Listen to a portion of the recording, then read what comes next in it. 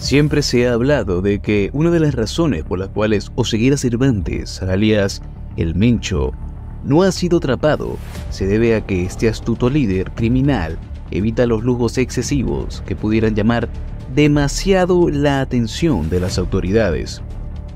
Y es que, para alguien que debe estar continuamente en movimiento, digamos que llamar la atención es lo último que quisiera. Pero entonces, ¿Qué es exactamente evitar lujos excesivos para un narco? Armas, propiedades gigantescas, joyas, drogas, animales exóticos, dinero en efectivo, una colección de autos lujosos. Son solo algunas de las cosas encontradas en propiedades incautadas a Oseguera Cervantes. Presta atención, pues voy a mostrarte en este video lo que la DEA hizo al Mencho, logrando confiscar varias de sus propiedades incluida su mansión. Ponte cómodo y disfruta, no sin antes recordarte que te suscribas, nos dejes tu poderosísimo like y actives la campanita de notificaciones. Eso realmente nos ayudaría un montón. Ahora sí, comencemos. El cateo. Oseguera Cervantes, alias El Mencho, es uno de los narcotraficantes más peligrosos y brutales del mundo al ser el líder indiscutible de la organización criminal con más recursos actualmente, no solo en México, sino también a nivel internacional, donde ha expandido sus actividades ilícitas, la Fiscalía General de la República y la DEA, en su intento por debilitar al cártel Jalisco Nueva Generación y quizás menguar un poco el alcance de sus operaciones, les han incautado varios objetos y propiedades que suman decenas de millones de dólares y se estima algunas de ellas han sido de las más significativas para Oseguera Cervantes. En 2021, las autoridades mexicanas le incautaron a Nemesio Oseguera Cervantes diversos bienes con un valor superior a los 10 millones de dólares. Algunos de los objetos que le quitaron a El Mencho y a su familia fueron autos, joyas, animales exóticos y carros de lujo. De igual manera, las autoridades decomisaron más de 34 inmuebles que pertenecían al jefe del cártel. La PGR, o bien la Procuraduría General de la República, informó que actualmente han decomisado alrededor de 160 millones de pesos mexicanos a Oseguera Cervantes, que vendrían siendo alrededor de 10 millones de dólares. Esta cantidad repartida entre cuentas bancarias, joyas, embarcaciones, inmuebles y animales. Además, se precisó que a través de la subprocuraduría encargada de la investigación de la delincuencia organizada, mejor conocida como CEIDO, entre los 34 inmuebles incautados a Oseguera Cervantes, su valor asciende a los 91.5 millones de pesos y, entre estas propiedades, resalta un muy exclusivo hotel que era frecuentemente visitado y conocido a nivel internacional en el poblado de la Cruz de Loreto, en Tamatlán, Jalisco. Estoy viendo cifras muy grandes para alguien que supuestamente vivía de forma modesta. ¿O acaso esto es lo que un narco podría considerar modesto? Siguiendo en la misma línea de ideas, también necesitamos mencionar la colección de vehículos de Oseguera Cervantes, puesto que también se informó de la incautación de 139 vehículos al cártel, que incluye modelos de lujo y hasta su propia embarcación. Pero apartando la embarcación de momento, centrémonos en la colección de vehículos de El Mencho. Dentro de la lujosa colección de autos de El Mencho está un Lamborghini Aventador, modelo evaluado en aproximadamente 400 mil dólares debido a su característico color amarillo, el cual cuenta con 770 caballos de potencia y consigue acelerar a casi 100 kilómetros por hora en menos de 3 segundos. Sinceramente, el sueño de muchos de nosotros en la audiencia. Otro de los vehículos dentro de la costosa colección del jefe del cártel Jalisco Nueva Generación es una camioneta Lamborghini Urus. uno de los modelos más icónicos de la firma italiana en la actualidad, el cual tiene un precio de casi 300 mil dólares. Oseguera Cervantes también tiene en su propiedad un exótico Aston Martin Vantage que cuenta con un motor V8 doble turbo con la capacidad de generar 503 caballos de fuerza y tiene un valor aproximado de 155 mil dólares. La camioneta Lamborghini Urus es uno de los 139 vehículos pertenecientes a El Mencho y al CJNG que fueron encontrados por las autoridades. Nemesio Seguera Cervantes cuenta con un convertible Jaguar F-Type, vehículo que tiene un motor V8 que produce 495 caballos de fuerza y tiene un precio de 75 mil dólares. ¿Lo puedes imaginar? Para todos aquellos en la audiencia que tuvieron la oportunidad en algún momento de disfrutar de algún juego de la famosa saga de Need for Speed, podría visualizar lo que sería todos sus autos favoritos y con los que en algún momento soñó, depositados en una sola cochera. La cochera del narcotraficante mejor conocido como El Mencho, incautados por la DEA y el gobierno mexicano. Sin embargo, no nos vamos a quedar solamente con los autos. También están las lujosas propiedades. Ya mencionamos que Oseguera Cervantes poseía un lujoso hotel en el poblado de La Cruz de Loreto. Pero entonces, ¿qué pasa con los otros 33 inmuebles?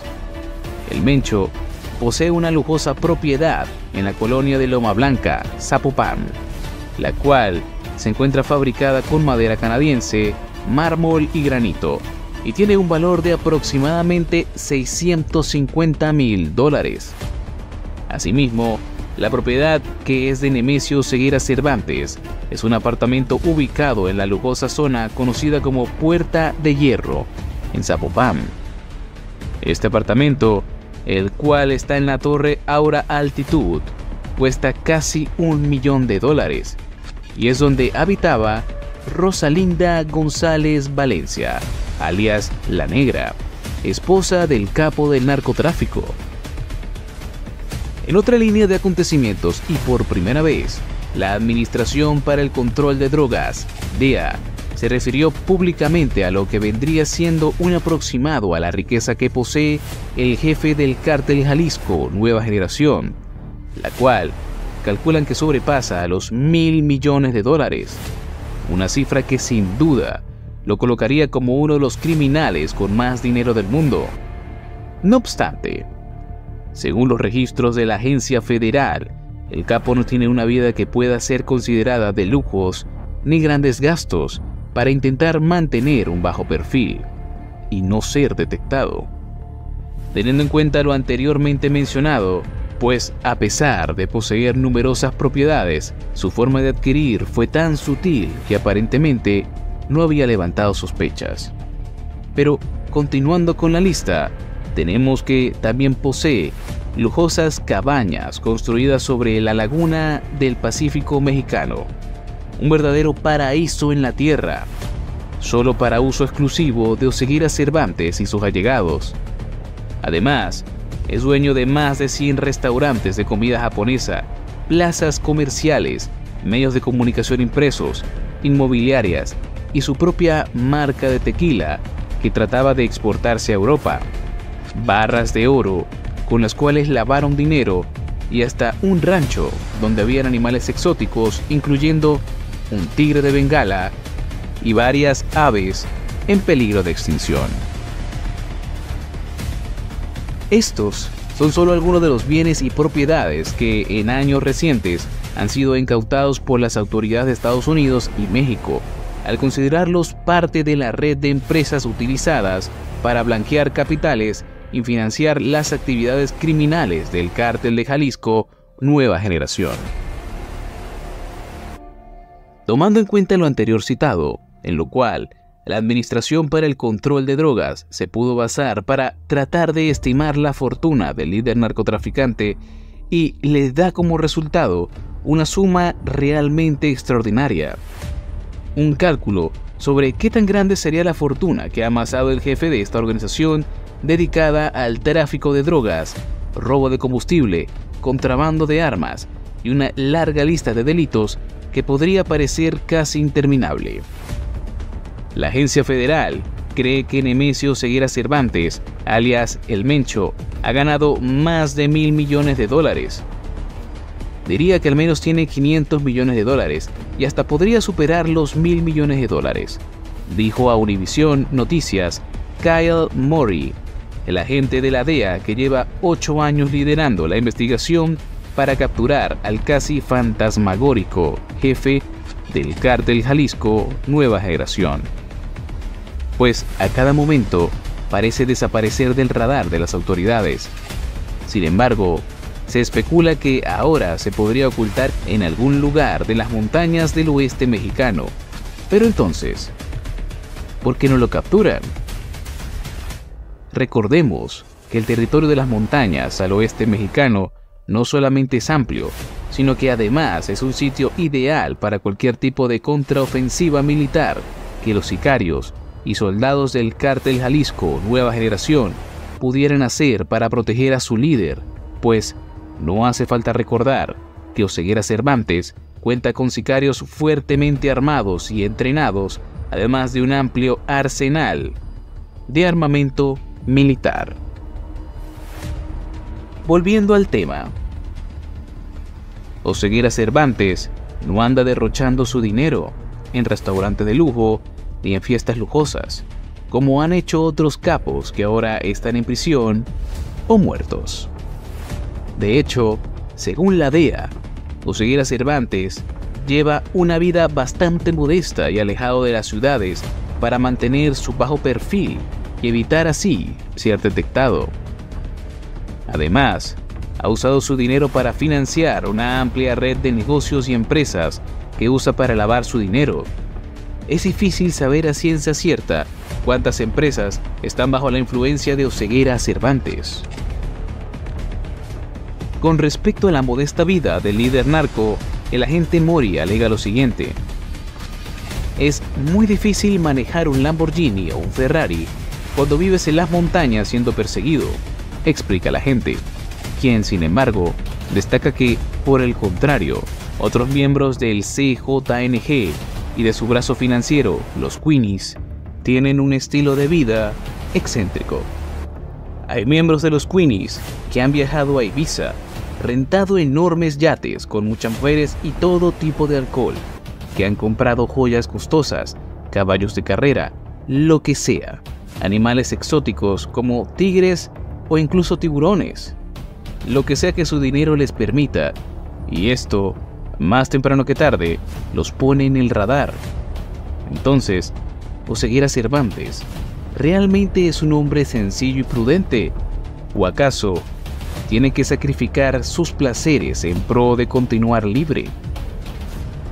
Por otra parte, a la DEA le preocupa la acelerada expansión del cártel de El Mencho, que ya domina 28 estados de las 32 entidades federativas de México, tiene presencia en las ciudades más importantes de Estados Unidos y mantiene sociedades con mafiosos en los cinco continentes, los cuales reciben los cargamentos de droga y la distribuyen en sus respectivos países. El gobierno americano teme que el cártel Jalisco Nueva Generación ya se ha convertido en la organización criminal con mayor presencia internacional en la historia del narcotráfico mexicano. Temen que hayan instaurado un imperio criminal más grande de lo que se tenga en cuenta. ¿Por qué se teme esto? Reportes confirman que se han visto a algunos Queenies arrestados en lugares tan lejanos como Brasil y Uruguay. Esto significaría que el cártel cuenta con una red internacional para distribuir cocaína y todo tipo de drogas sintéticas. Por eso, se cree que su alcance global ya es más grande que el del cártel de Sinaloa. El CJNG tiene presencia en cada continente excepto en la Antártica. Están en África, Asia, Europa, Norteamérica y Sudamérica. Son una red expansiva son un virus, enfermando, contagiando y expandiéndose a cada rincón del planeta. Un análisis del Servicio de Investigaciones del Congreso de Estados Unidos advertía en 2018 que ya son responsables de distribuir cocaína y metanfetamina a lo largo de 10.000 kilómetros de la costa del Pacífico, en una ruta que se extiende desde el cono sur hasta la frontera de Estados Unidos y Canadá. El narcotráfico, sin embargo, es solo una parte de sus negocios ilícitos el ejemplo más claro es la sangrienta guerra que enfrentan sus pistoleros contra el cártel de Santa Rosa de Lima por el control del lucrativo robo de combustible, también llamado huachicoleo, que ocurre en el estado de Guanajuato. Harán todo lo que sea necesario para ganar dinero. Tráfico de armas, contrabando de personas, tráfico sexual, extorsión a negocios legítimos, cobro de piso a narcotraficantes locales, robo de combustible y de minerales. Todo lo que haga falta para mantener las arcas del cártel repletas, sin importar cuánta sangre deban derramar en el proceso, ni a cuántos enemigos deban desaparecer. La sorprendente expansión del cártel Jalisco Nueva Generación en Estados Unidos va de la mano del control de ciudades de la frontera con California y Texas, que le arrebató a punta de balazos a grupos antagónicos. Su principal método para cruzar droga es usando autos particulares que pasan por las garitas de inmigración, aunque también les han descubierto túneles y siguen arrestando personas que trafican narcóticos bajo su ropa. La DEA afirma que la organización criminal de El Mencho ya está distribuyendo más droga en las calles de Estados Unidos que el cártel de Sinaloa, que lo ha hecho por más de 20 años. Y es que no solo copió sus métodos de contrabando, sino que le están quitando clientes y hasta están lavando dinero en la misma ciudad, Los Ángeles. En ese sentido, una acusación federal reveló que entre 2011 y 2014, una de sus células que operó en el norte de Illinois usó este esquema para blanquear capitales compró grandes cantidades de barras de oro que revendió por más de 100 millones de dólares a empresas en California y Florida. Parte de esa suma fue enviada a jefes de la organización en México a través de la cuenta bancaria de una compañía dedicada a la venta de acciones. Así, evitaron el riesgoso traslado de fajos de billetes por la frontera suroeste. En contraparte, ¿qué ocurre con la DEA? La DEA mantiene una guerra total contra el cártel Jalisco Nueva Generación. La DEA hace todo lo que está en su alcance para tratar de detener el avance del cártel Jalisco Nueva Generación en las ciudades del país. Orquestaron un gigantesco operativo en California en el 2020, que provocó el arresto de 500 miembros del cártel Jalisco Nueva Generación y la incautación de drogas. En este hecho, oficiales no solo arrestaron a 500 presuntas personas ligadas al cártel, sino que además incautaron 15.000 kilos de metanfetamina y casi 20 millones de dólares.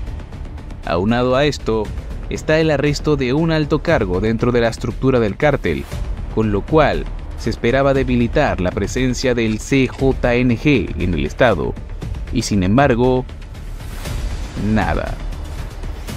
El cártel no solo continúa operando en California, sino que además Estados Unidos debe hacer especiales esfuerzos para combatir al cártel más sanguinario y violento de México, que se cree tienen centros de distribución de drogas en Los Ángeles, Nueva York, Chicago, Houston y Atlanta, o por lo menos que se sepa de momento. La preocupación del gobierno americano radica en que, a diferencia de otros cárteles, el cártel Jalisco Nueva Generación no duda en atacar a las fuerzas policiales y militares. Esto lo demostró con creces al ir masacrando sistemáticamente a los agentes federales en México, donde se le atribuye al CJNG los ataques más mortíferos en el país y ha realizado otros actos espectaculares de violencia para eliminar a sus rivales. El cártel de las cuatro letras no solo es una organización criminal muy violenta, sino que además están fuertemente armados. Actualmente, se estima que su principal mercancía es la metanfetamina y el fentanilo, los cuales se venden hasta 14 veces el costo de producción, generando ganancias astronómicas para el cártel y a su vez inundando las calles de Estados Unidos, creando la peor epidemia de adicción a opioides de la historia, alimentando la indigencia y dejando un rastro de cadáveres provocado por la sobredosis. Mientras tanto, en las áreas de Dallas, específicamente en DeSoto, en el norte de Texas, otro grupo traficó miles de kilos de metanfetamina instalando varios laboratorios en casas clandestinas para la cristalización de la droga.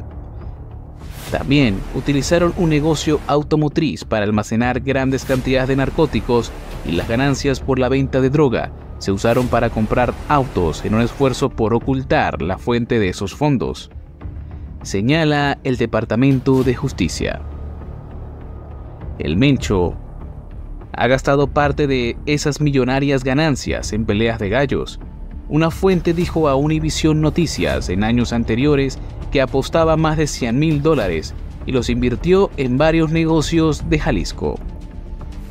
Según la Oficina de Control de Bienes Extranjeros, una dependencia del Departamento del Tesoro dedicada a identificar y sancionar personas y entidades ligadas al crimen organizado internacional, el dinero del capo fue a parar a los periódicos Uno más Uno y Diario Amanecer.